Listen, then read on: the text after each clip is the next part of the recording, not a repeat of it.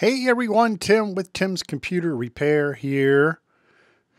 In this video, we're going to be taking a look at a PC here that is having all of its downloads being blocked. Not just a select few, all of them. This computer is unable to download anything from the internet. Now, there are a number of things that could be causing this, including but not limited to your antivirus software that's on the computer could be actually blocking your downloads, amongst other things. But you can see here in the downloads folder, the last download was from 2023. There's a small temp file here from 2024. Not sure where that came from, but he said that this issue has been persistent for quite a long time and he's just flat out sick of it. Can't imagine using my PC for a business as that as he does, and you can't download anything. Let's just try to download something here. Tech Tool Store. We'll just click the download button and it asks where you want to put it. We'll put it in the downloads folder. We'll go ahead and hit save. And as you can see here, techtoolstore.exe virus scan failed. And that's what they all say, virus scan failed. So that kind of points you to maybe the antivirus not uh, is blocking, not not functioning properly. As you can see, there's no file that's been downloaded here in this folder, so definitely have an issue here. Now, the first thing in this case I would check, given that it says that the virus scan had failed on anything you download, I would check for any virus software you have here. But as you can see on this computer, it doesn't appear to be any type of antivirus running on this machine, at least third party. I think there is Windows Defender running on this, but we'll get to that in a second. Let's just, just to be sure, go into add remove programs here and see if there's any signs of a, a third party antivirus running on this computer. And as you can see here, we don't see any type of antivirus running on this machine. He did have WebRoot on this computer. I have removed it. So there's a possibility that there still be some some remnants of WebRoot on this computer that are that have uh, embedded itself in the registry, but I don't know. We'll have to just keep checking this out. So let's go ahead and run Task Manager to see what services are running here to see if we see any third-party antiviruses running Uh, on this machine. And after taking a close look here, I don't see any type of a third-party antivirus running on this machine.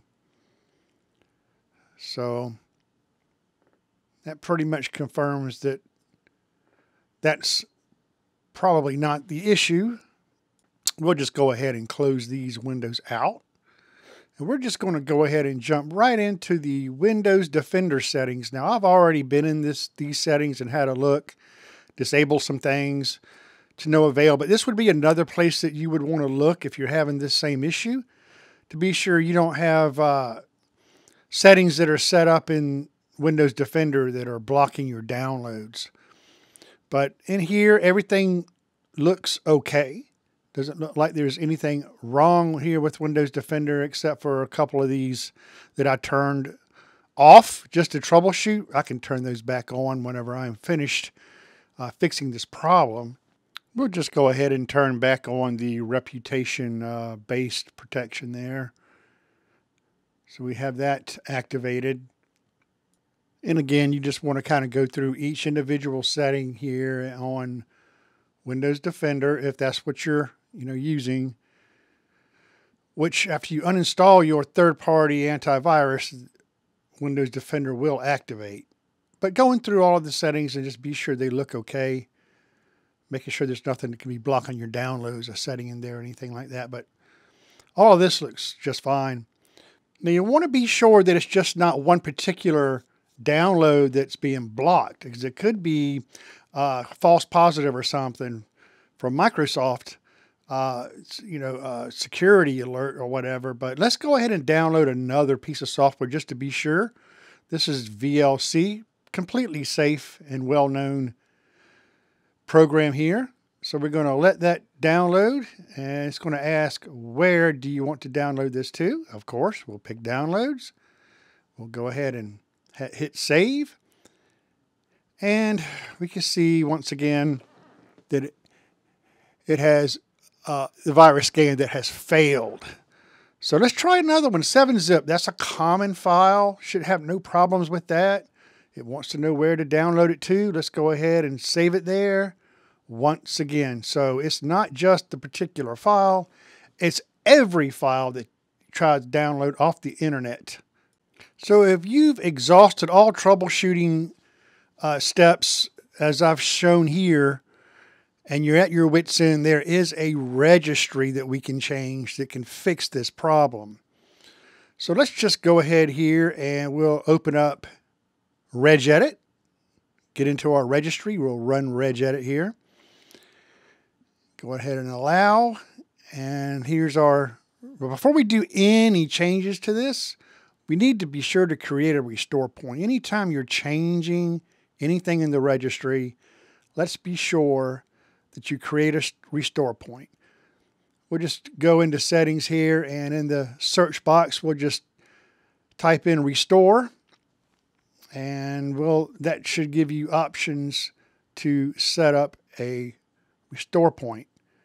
It's right down here, as you see here and there. See, I've already set one up, but here you want to be sure that you create a new restore point. Name it whatever you like. This way, if something does go wrong, whenever you are changing things in your registry, you will have a place to roll back to to restore that registry to what it was before you edited it. So while we're while we are in uh, the registry, let's go ahead and click on HKey local machine, then go to software. Then we want to come down to Microsoft. Once we do Microsoft, now we want to go down and go to Windows, down like such. Once you're in Windows, you want to go into current version, and then you want to find policies. Once you're into policies, you want to locate attachments. Attachments is right there. And inside attachments, you will see the registry key here, the entry that says scan with antivirus. We want to change that key. We want to modify it. So we right click on that entry and if we right click on it, we can select modify. Now we have the option of changing this value. The value here is set to three. So what we want to do is we want to change three, change it to zero. And what zero means is off. It just basically turns that feature off. You click OK, and, and you're all done here. So we can close out the registry here and let's test now and see if we can download anything. We'll just go ahead and do 7-zip again. Uh, waiting for it. Yep, that's where we want to put it in the downloads folder. We hit save and up, look at there. We have 7-zip in the downloads folder. Excellent. Well, what about anything else? Can we download anything else? Let's find out. We'll just close this out and let's uh let's try Tech Tool Store again. That's such a good tool, that Tech Tool Store. Up, there we go to the downloads. Let's hit save. There it is. Very good. So it looks like we have uh, fixed this little problem. So a little bit of little bit of a registry issue. You know, perhaps something else like maybe SFC scan now or something may have helped that. But I just wanted to make this video showing you guys that you this is a step you can take to uh, correct that issue if you can't download anything from the internet with that same error. Now, obviously, you want to go ahead and reboot your computer and try it all again to be sure it all still works as it should. You also want to go ahead, if you want to, uh, go ahead and reinstall any of the antiviruses that you may have uninstalled while troubleshooting this. Don't know if you want to strictly just rely on that Windows Defender all the time. Uh, WebRoot is a really good antivirus, by the way. So that he did have that. It wasn't an issue with that. I initially thought it was, but it wasn't.